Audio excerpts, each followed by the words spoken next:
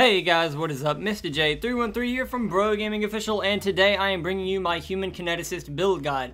I am naming this build guide the Ascended build guide. I had thought about naming it the Get the Fuck Off My Map build guide, but that name was a little too long, so I'm sticking with Ascended. So let's jump right into it. On my weapon, I will always be using the N7 Hurricane with a melee mod and a clip size mod. I will always use the Hurricane on all of my biotic builds, but if you don't have it because it is an ultra rare, there are a few others I would go with. I would also choose the Equalizer, the Sidewinder, and if you don't have either of those, and them only being rare, I hope you would at least have those. The Predator 10, if you have it at 10, is also a good choice. Because even though being a common, it isn't that bad. But the Hurricane is always my top choice because, in my opinion, it is the best pistol, probably the best weapon in the game. Now, on equipment, I used the new Adaptive War Amp. It will increase biotic damage dealt by 15%. The Juggernaut Shield would also be a good choice, but for this build, I personally feel like just having that little bit of extra biotic damage would be a good choice. On my Human Vanguard guide, though, I would be using the Juggernaut Shield, but I will link that in the description if you guys have not seen that, but for this build, you want the Adaptive War Amp. It only costs 70 mission funds, so definitely pick that up for a biotic, biotic build. In my opinion, it is very nice to have, unless it is more melee focused, but this build is not. So in consumables, I would say use a shield mod and a biotic damage mod, a biotic power amp. That's really all I would use on consumables. So with that said, let's jump into the skills. Now, pull is the focal point of this build. You're going to max it out. You're to go first three, bottom, top, bottom. So on four, the bottom, you're going to be able to pull two enemies. Five, you'll be doing damage while you're holding those enemies. And on bottom for six, you will be able to drain some of their shields. Well, you'll be able to get some of your shields back. So that is really nice. And I'm not 100% sure, but I believe that's per enemy, not per pull. So if you're pulling two enemies, you'll be getting 20% shield back. I can't confirm that or not, but I am quite sure that is how that is. But regardless, bottom on six is a must-have because you it is so crucial because you'll be able to get some shields back while you're holding enemies and then you can just throw them off the map. So that's what this build is all about, getting your shields back, staying ascended, throwing everything off the map that you possibly can. So throw, you're going to be using it just as much as pull most likely, but you don't need to spec into it. And then same with Lance, you will be using it for a little bit of extra damage and detonating combos, but you don't have to pour any skills into it. I do have one point left over, and if I had extra points, I wouldn't put any in Lance, I would put them all in Barrier. And I will go over that in just a second, but now we're going to jump into Biotic Ascension and what really the bulk of the build is all about. So, I'm going to be maxing out Biotic Ascension. That's what you want to max out first. You're going to go first three, top, bottom, and then bottom. If you don't know what Biotic Ascension is, real quick, for what it is, is you get six kills at base level, and then you can hold the melee button on whatever system you're on, and you will enter Ascension. You will gain 100 damage resistance, as well as zero cooldown on all abilities, but your abilities will be taking shields. So that's why you want a lot of shields and some good vampire effects. So that's where the last ability on pull comes in. Now, I'm going to choose damage and force because I feel like having any extra damage is nice, and duration is useless on this build. You don't have to have duration for this build. And then, I personally chose the combo damage because whenever you have someone who is priming enemies, if they have Annihilation Field or if someone is using tech abilities and you can detonate them with Lance, the extra damage is very nice to have. And then you want to get Biotic the efficiency for Ascension. Now the damage is nice if you're making a damage build, but this is a more efficiency build. So you're going to want the negative one charge to just go with four total now. You only need four kills to enter, plus the 30% reduction shield cost for abilities. So you're going to be able to use more abilities now without sacrificing your shields. So it, it makes you a little bit more survivable as well as being able to do more for your team and for yourself. So, lastly, we're going to go with Barrier. I would max this out, but I don't have the skills because I only have the Human Kineticist once. If I had her more times, I would definitely be maxing out Barrier. So you're going to go first three, then top, bottom, and if you have the extra skill point, go with top on six. So On 4, I personally feel like the max shields is more effective than the regen. That's just my personal opinion. If you like the regen more than the shields, try it and let me know, but from my testing, I have personally liked the max shields over the regen. I just don't feel like the regen is enough to warrant the extra 30% shield. So then you're going to go with bottom on 5 for every melee hit. You're going to get 20% of your shields back as well as a melee damage buff of 50%. So that is going to be able to keep you more in the fight, especially if someone comes up on you and you don't want to throw them off, you're low on shields, you can just start hitting them and get your shields back and then get them off the map.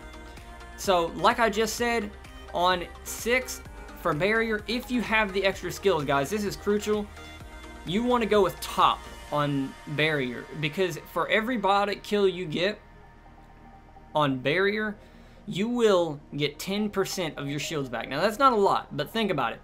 For every enemy you throw off the map, you're going to be using a little bit of your shields, but then you're going to get 10 10% of it back from that kill. And if you're pulling two enemies, that's 20% of your shields back. So it'll be a close to even trade for every kill, but that doesn't really matter. Even with your combo detonations from Lance and then just other general kills with biotics, you're going to be able to keep your shields going, and that's what this build is all about. Lots of shields, keeping them going, throwing everything off the map. So that's a good explanation of the build. So here real quick, we're about to get into some gameplay and I'm going to show you guys why I love this build and why why I really was tempted to name it the get the fuck off my map build because that's really all you do with this build and it's pretty great and it's also a funny funny thing to see especially whenever you're not even playing as her your teammates, you'll leave them rolling when they see an enemy just go flying off the map before they can shoot them. So guys, let's get into this gameplay.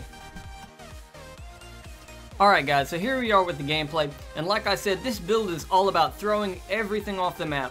Now, you cannot use pull or throw on an armored or shielded enemy, so you'll only be able to do it to basic flesh targets, but that is okay. Whenever you come across a sharpshooter, shoot him up a little bit, get him out of there. Armored enemies, you need to be letting your team deal with them more because they're going to be able to put in so much damage to you that you're going to lose your shield. So you don't want to focus on them as much. This build is more about hanging back, dealing with the lesser enemies, and letting your team focus on the high value targets. And whenever I'm facing the outlaws, obviously, you know, the saboteurs, agents, anarchists, berserkers, pariahs, they're all a big problem for this build, especially whenever they're trying to get up in your face. Berserkers, they don't even have to get up in your face because of Flak Cannon. That is a big problem with this build, is with them spamming Flak Cannon, they will push you out of cover and make you run away. Because losing your shields, you will lose your ascension. So that's why you, another reason you have to be careful with your abilities that you're using. It does use your shield, so you have to keep an eye on that about how much you use. But, like you just saw there, throwing enemies around, you're really going to make everyone on the map a ragdoll for you to play with. And throwing them into other enemies is just a funny sight to see if you're not throwing them off the map. But as you can see here, I'm trying to stay as far away from this Berserker as I possibly can. I'm letting my teammates stay up there and deal with it while this teammate has... She is the Asari Adept, so she has Annihilation Field. She is priming him every so often, and I'm able to just use my lance and get that detonation off. I'm in Ascension right now, so it is not, there is no cooldown, but he will not constantly stay primed, so you have to be mindful about when you're going to use it. Now see, like I said, losing shields, you need to get out of there. Don't try and fight, because she is a squishy character, and you will go down if you try and stay in there with a fight. Much like Salarians, she she is a very squishy character. She cannot tank. I don't really think you can make much of a tank build out of her, and I don't know why in the hell you would, because I don't think that would be any fun at all. She, like I say in all my builds, every character has a unique passive. Well, almost every character does, especially when it comes down to class. And in my opinion, it is imperative that you use that passive ability for the focal point of your build. And that is what all my builds come down to. I look at the passive ability of that character and I work off of it because that is what makes that character that character is their passive ability. And the human kineticist has biotic ascension and that is what makes her the human kineticist. And if you build around that or away from that, then I personally don't feel like you're building the human kineticist, you're building something else. But that is all my personal opinion, guys. Like all of my builds, they are subjective, and it is all based on my playstyle and my personal opinion. But right there, throwing enemies around like ragdolls, it is just a great class to use because while the damage may not be crazy high, it is very fun, and when you're throwing enemies off the map, obviously they're dead. So, all of the unshielded, unarmored enemies, you can get them out of the map, and that's just less for your team to worry about. And that all goes back to team composition, what your team can do to keep you alive. And then right there, you gotta pick your engagements, guys. Sharpshooters, do not run towards them because with the new buff for snipers doing an extra 44% damage with patch 1.05 rolling out, they will just drop your shield. So you have to be very careful when you're trying to engage them, especially when you want to drop their shields and throw them out here. You have to be careful not to get too close or too far, or really just stay out of their line of sight. You have to be careful with that, guys. That's like any enemy. You have to keep an eye on your shields because if they're dropping it, you're not going to be able to stay in Ascension. Another big thing is Hydras. Hydras, Fiends, and Destroyers. Destroyers have shields and armor, so that makes them a little bit tougher, especially with biotic combos, but like you just saw there, with combos and the extra combo damage and radius, you can do a lot of damage with Lance, and adding damage to Lance could be could be effective, especially if you want to make this a more damage focused build, but for my playstyle, I didn't want to do that. I did play around with this character a little bit, trying out a couple of different builds, respecking her a lot, but personally, I felt like this was the most fun and effective build for my playstyle. Now, if you guys are more of a, I want to deal all the damage, and I want to kill everything out there, then this build might not be the best for you, but this build will definitely get that job done, because like I keep saying, anything unshielded or unarmored, you can kill them with ease. You can just throw them off the map especially when you're playing on a map like um, Firebase Zero that, that will be next in the gameplay right here. Firebase Zero, there's lots and lots and lots of space for you to throw enemies off the map, especially the good places to hunker down, especially the corner from the spawn if you go left. That corner is great because with all of the dog type enemies running up to you, you can just grab them and throw them off. So they are no longer a problem. And it is a especially very great whenever you're playing as a human kineticist and you have a sniper or two on your team in that corner because they don't have to worry about the dogs coming up and getting them out of their scope and really just tearing them out of doing any damage. You can worry about them and any other enemy running up on you, especially if they're unarmored or unshielded. But if they are, you need to say, hey guys, I've got a problem over here and I can't deal with it. You have to be humble, guys. You can't think that this character can take everything on because it's not just this build, it's this character. She can't take everything on. She has minimal health and shields, and her abilities aren't really scaled for lots of damage. Whenever we see other biotic builds, you know, they have Charge, Nova, Shockwave, Annihilation Field. Those are all heavy damage based abilities. But Throw, Pull, and Lance, not so much. Lance does not do much damage at all. I personally feel like it is a good ability for whenever you have a sniper, such as the um, Asari Huntress. I feel like that is a good pairing with that.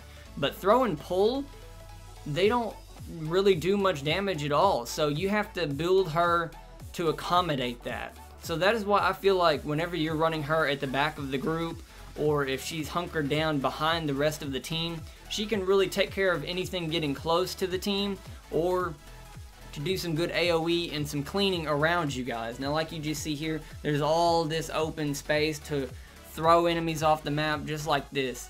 Now, if your shields are getting low, obviously, you know, hold them for a second. Don't just grab them and throw them. Hold them, get your shields back up, and then throw them out. Now, going back to the beginning of the video, whenever I said that I run the Hurricane on this build, as well as all my other biotic, biotic ability-based builds, I have also run a sniper with the human kineticist and it actually worked very well because you will be able to put in a lot of support and damage with for your team hanging in the back and just if something gets close to you pull throw them off the map and you're good to go. And if something comes in that you can't handle just get out of there get out of the situation. But for my playstyle I personally felt like running the hurricane as a aggressive pistol based build I really felt like it was a lot more fun. But that's that's just me, guys. If you are more of a sniper player, then you could definitely use a sniper. The Vanquisher, Widow, Black Widow, Ishara, you could use any of those with her and it would be effective. You know, also, if you are not a fan of those high damage ones, you could use the Valiant as well. And the... I am drawing a blank on it, but it is another sniper just like that. But it is single shot, or the Valiant single shot. I cannot remember, guys. I'm drawing a blank, but I hope you do know what I'm talking about. But those are all good choices for her. She can use them, it, and you can make it work. I have done it, but I don't have any gameplay of it because, like I said, from my playstyle, I felt like she works better as an aggressive pistol because then you're able to run with your team because really with if you're running around with a sniper unless it is an automatic sniper you're not going to have as good of a time at least in my opinion because it's, it's more going to hinder you, especially with the weight of a sniper. Whenever you're not in Ascension, now see, that's another thing. Weight for her can be a little iffy. You don't have to worry about weight as much as other biotic builds because you'll be in Ascension mode and cooldowns will not affect you in Ascended mode, but whenever you're not in Ascension, you need to worry about that. So you can worry about it, and then you also don't have to. I don't know, it's kind of I guess that's just personal preference, you know, try it, see if it works for you, but she's a really fun character to use. I loved playing her, and I still like going back and playing her, just like my Human Vanguard build. I love playing him still. They're great characters. They're really fun for my playstyle. They're very fast-paced, very aggressive, very up in your face, and just getting the job done. So guys, that's really all I have for this build. She's really fun to use, and if you don't have her, I definitely recommend trying to get her out of those premium and expert packs. She is a lot of fun, but being an ultra rare, she can be pretty hard to get, but I definitely recommend trying to pick her up and try this build out or your own build, and let me know down in the comments how it goes. So as always guys, if you're new around here, please be sure to hit that subscribe button if you enjoyed this video. Be sure to check out our channel for the rest of our build guides or other videos on other games that we have and smash that like button. It'll really help us out. And share us with your friends to spread the word. So guys, as always, this has been Mr. J313, and I will catch you on the next one.